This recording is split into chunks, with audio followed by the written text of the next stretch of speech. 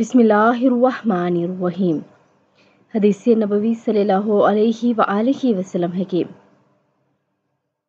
लोगों के दिलों में जाल फंसाने के लिए उम्दा गुफ्तगु।